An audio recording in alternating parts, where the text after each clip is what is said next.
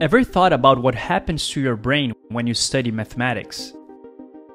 In a study in 2016, researchers studied the brains of 30 well educated adults by putting them in an MRI machine. 15 of them were advanced mathematicians, while the other 15 were professionals in fields of humanities like history, linguistics, and philosophy, but without any professional mathematical training. The main thing that participants had to do was to listen to statements that were read out loud, which could be about general knowledge like history or nature, or about math. The math statements came from various fields like analysis, algebra, geometry, and topology. All the statements, whether general or mathematical, matched each other in length and complexity. The participants had to determine whether each statement was true, false, or meaningless. Meaningless meaning that they were grammatically correct but made no sense.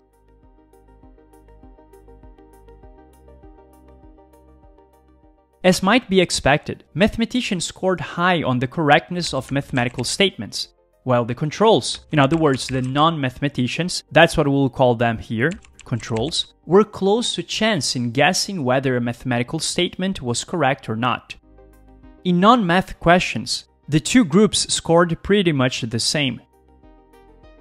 Mathematicians, of course, also scored higher in being able to quickly tell whether a statement in mathematics made sense, no matter whether it's true or false. And both groups had similar scores for non-math questions. Again, this is totally expected, but the point here is not to compare their knowledge on math and general subjects, but to show how the brain responded when it came to the other types of questions. And finally, once a participant has recognized that a statement is meaningful, this D tells us how well they could decide if it was actually true or false. The answers were exactly what we would expect. Mathematicians were pretty good at answering everything, and the controls or non-mathematicians couldn't make much sense of the math statements. But they did score well in the general statements. So what? What's so special about it? Well, let's see how their brains responded. First, the brain builds a unique network for math. Look at this graph measuring the brain regions called left inferior temporal and left intraparietal.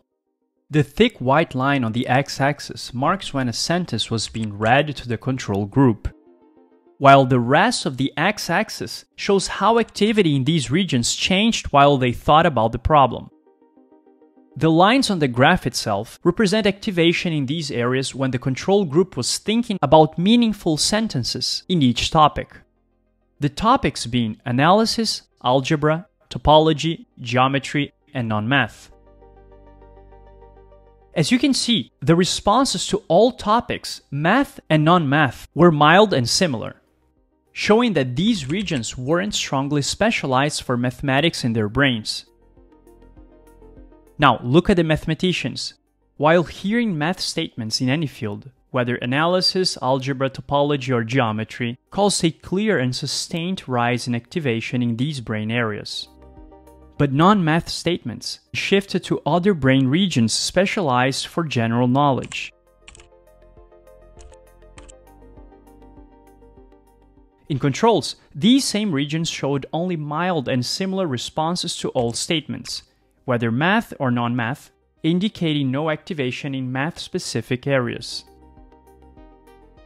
So basically, for both math and non-math, the controls lean on the same general purpose, language-heavy areas. That's why the activation looks similar across all topics. They are processing it with the same general reasoning network. Mathematicians, though, when it comes to math, strongly recruit the math-specific parietal frontal network. For non-math, they don't even use this network. They shift over to language and general semantic regions.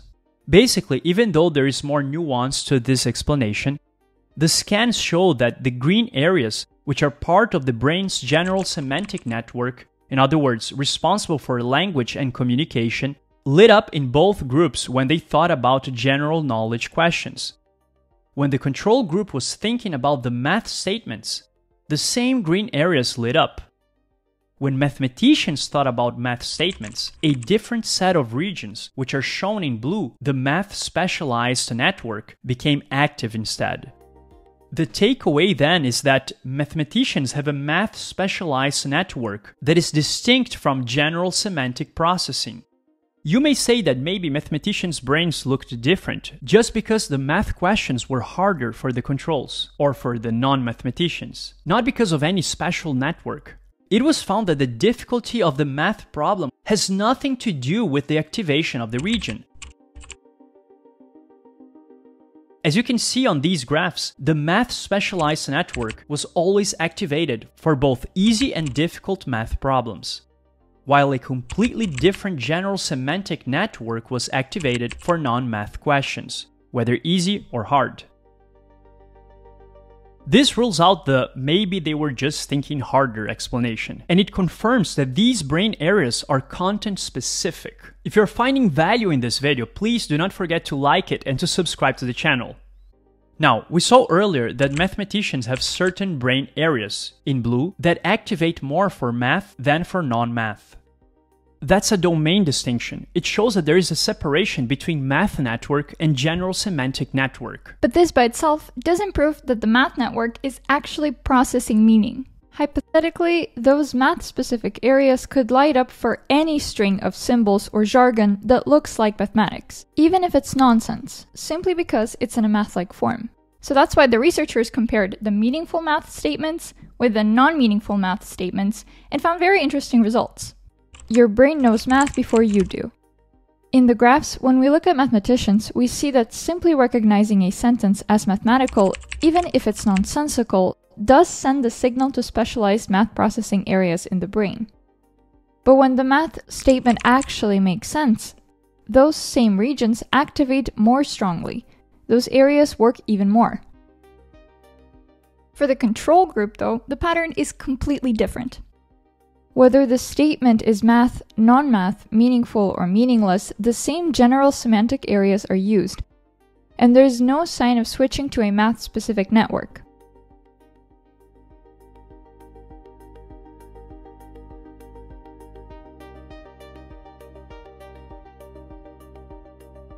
This tells us that mathematicians have a neural routing system for mathematical content, and that non mathematicians simply don't turn on, even when they do recognize that it's math that's being talked about. So, to summarize everything we've talked about so far, while listening to a statement, everyone's language area of the brain is engaged. That's expected. But when it's time to reason about the mathematical statements, mathematicians switch to a dedicated neural math network. The controls don't switch over to this other network. So the language area takes over the task. In controls, the math scans look like gibberish material.